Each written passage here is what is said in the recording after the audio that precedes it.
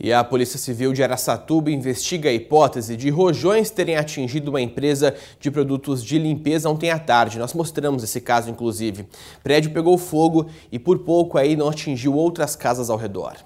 A fumaça podia ser vista de longe. O fogo começou durante a tarde e se alastrou rapidamente por toda a loja.